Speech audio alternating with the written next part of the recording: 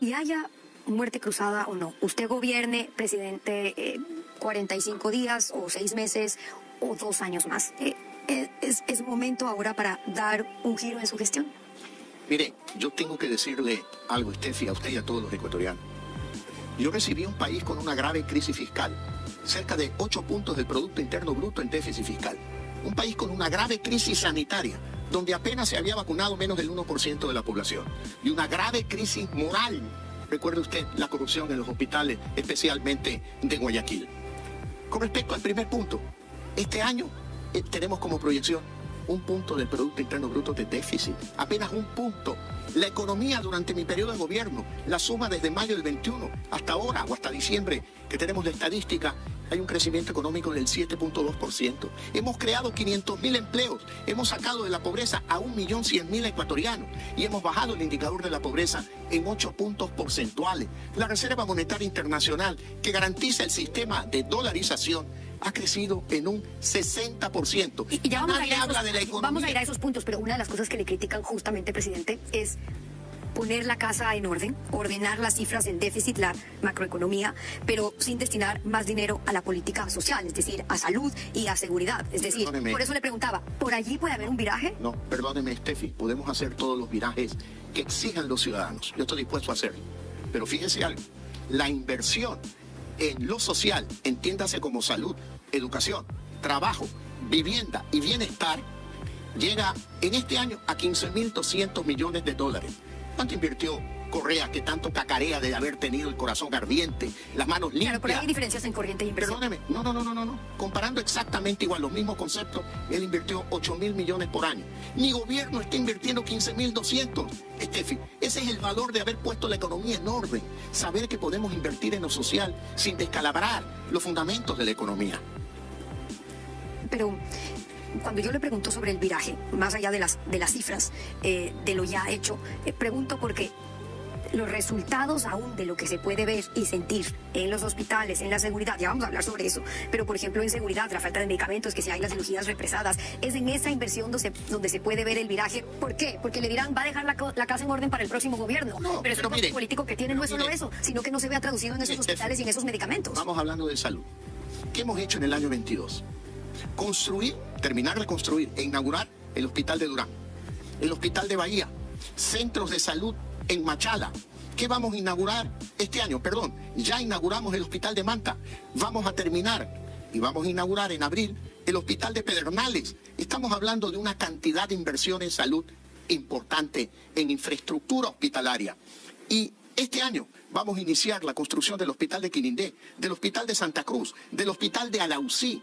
Por lo tanto, no ha parado la inversión social en mi gobierno, aparte de repotenciación. Ahora, mucho, mucho, de lo que mucho de lo que se ha hecho, presidente. Sí, te- termino. Permítame explicarlo, porque si hay algo que critican a mi gobierno, y en esto tienen razón, es que hemos fallado en la comunicación. Por lo tanto, denme la oportunidad de que conozcan los ecuatorianos que hemos repotenciado 53 hospitales que serán intervenidos. Por ejemplo, el hospital de Monte Sinaí, que lo visité creo que el 2 o 3 de enero de manera sorpresiva. Un hospital de 490 camas. ¿Saben cuánto funcionaban cuando inició mi gobierno? Cero.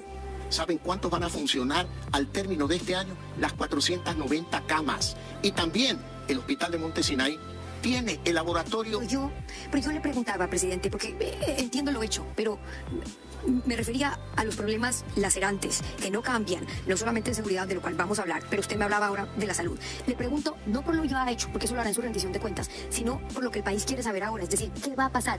¿Qué medidas urgentes en estos campos, en estos días, como el que anunció ayer en seguridad con el porte de armas, pero en salud, presidente? Pero en salud, mire usted, Steffi, asumimos el gobierno con un inventario no mayor al 45% de las medicinas.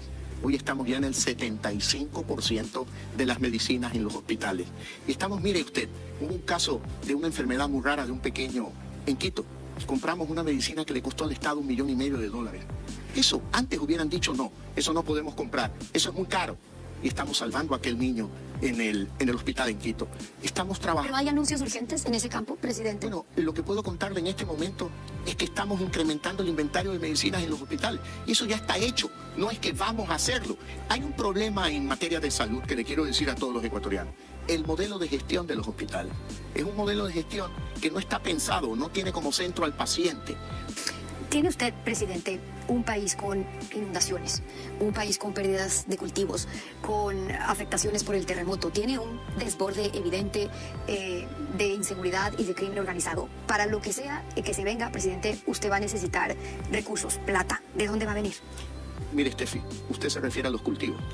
El año pasado, la banca pública desembolsó créditos por 6.200 millones de dólares. Y tenemos recursos en Banecuador y lo he ofrecido tanto en Alausí, en Machala y en todo el Ecuador, crédito de Banecuador para poder recuperar los negocios perdidos, los embrios perdidos. No es un problema de recursos. Por otro lado, mi gobierno es un gobierno honesto, donde podemos construir casas a 23 mil dólares sin ningún sobreprecio. Y hemos construido el año pasado 15 mil soluciones habitacionales, entregado 4 mil casas gratuitas, gratuitas a las familias más vulnerables del Ecuador. No está esperando nuevos recursos, un nuevo crédito no vamos a aumentar impuestos y vamos a apelar a recursos para estados de emergencia de los organismos multilaterales. No me atrevo a dar una cifra porque sería irresponsable, pero tenemos recursos para poder atender las emergencias del invierno. Ahora, para la seguridad, he pedido ayuda a Estados Unidos de manera muy clara y directa. Permítanme no dar detalles por razones de seguridad, pero nos están ayudando. Empieza a fluir el apoyo y la ayuda de países amigos como Estados Unidos. Mire, Colombia, trabajando en conjunto las Fuerzas Armadas de Colombia con las Fuerzas Armadas del Ecuador. Eso lo anuncié también el año pasado. He estado en Israel personalmente.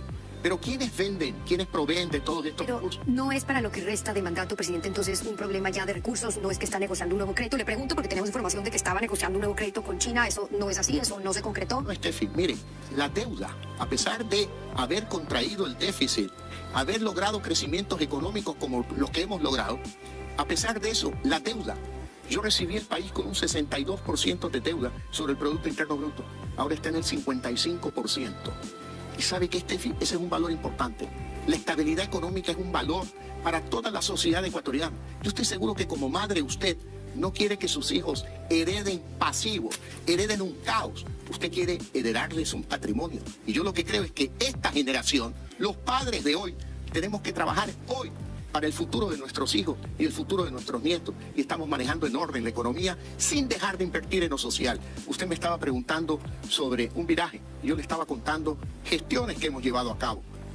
Mire, 16 nuevas unidades educativas. La Quevedo en Quevedo, la Nicolás Infante en Quevedo, la Ángel Polivio Chávez en Guaranda. Eso es lo que le han dejado hacer, presidente, pero, por el este pero por el escenario, presidente, por el escenario que se le viene, ahora le trae, por el escenario que se viene, en caso de muerte cruzada, gobierne usted, presidente, 45 días más, 6 meses más o, dos años más. La yo voy a gobernar todo mi periodo. Ok. Y para eso estoy trabajando. O sea que se quiere quedar los dos años más. No es que me quiero quedar, es que el pueblo ecuatoriano me eligió el 11 de abril del 21 para cuatro años de gobierno.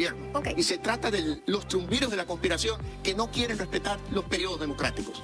Pero le preguntaba porque en el camino en el que usted se encuentra, me refiero al juicio político, la muerte cruzada, es importante que el país conozca también qué pasa en el caso de una muerte cruzada. En ese escenario, ¿qué pasa? ¿Tiene vía usted para gobernar eh, por decreto? Pero claro, también dependería de una corte constitucional, que es la corte que le acaba de dar luz verde a su juicio político. Y entonces, Estefi, me parece que ya contesté esa pregunta. ¿Cuál? Artículo 148 de la Constitución.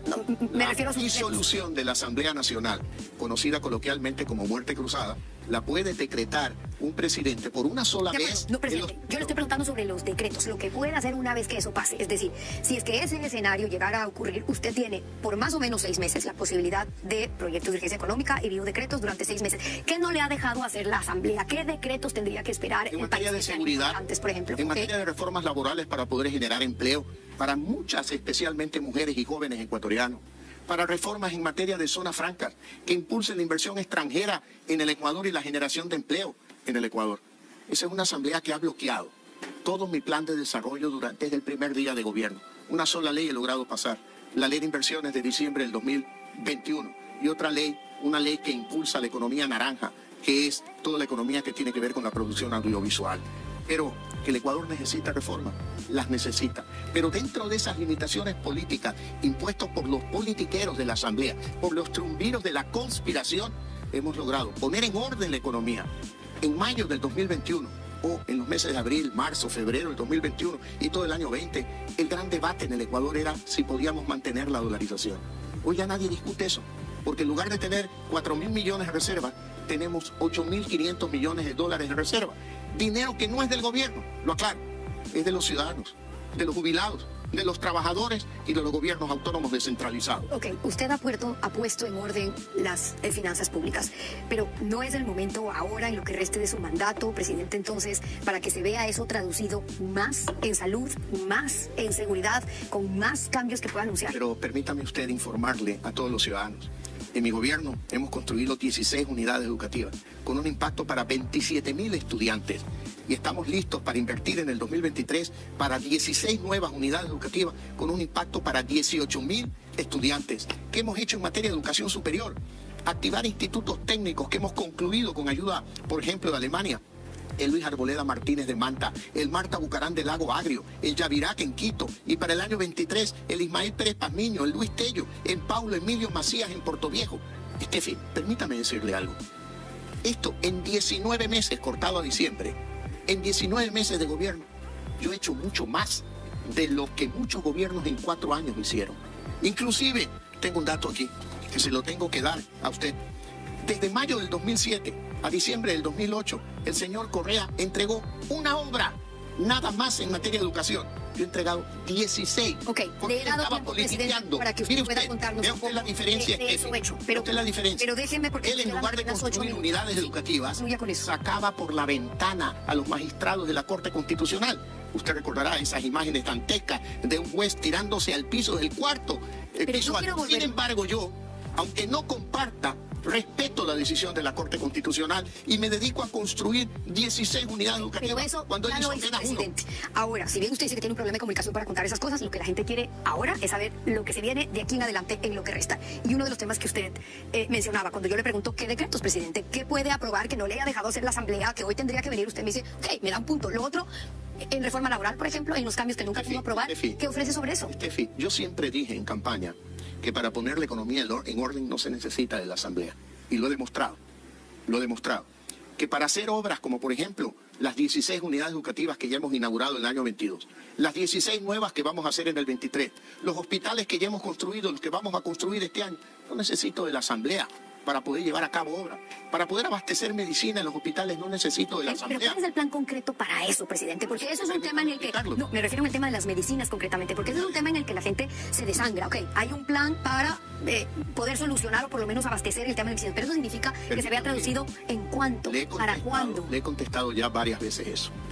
Ya hemos incrementado el inventario de medicinas del 45% que yo lo recibí al 75%.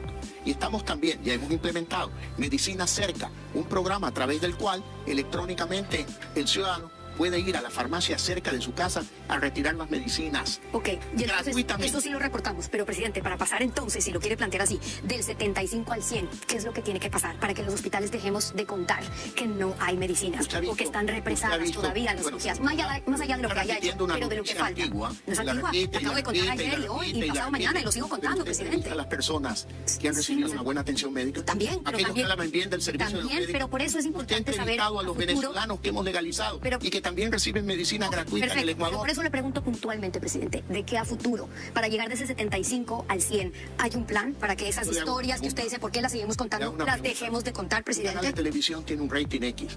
Yo le pregunto a usted, ¿por qué no tiene el 100% de rating? Ok, entonces no hay un plan necesariamente para ese 100, presidente. El nivel actual de inventario de medicinas permite atender adecuadamente los requerimientos en los hospitales. Okay. Y sobre la reforma laboral, presidente, que le preguntaba, ¿hay algo que esté, en, me, me, refiero a los bloqueos que tuvo en la Asamblea, lo que no pudo aprobar, los cambios que quiso hacer? Vamos a llevar a cabo algunas reformas de carácter administrativo, vía eh, acuerdos ministeriales y vía decretos presidenciales.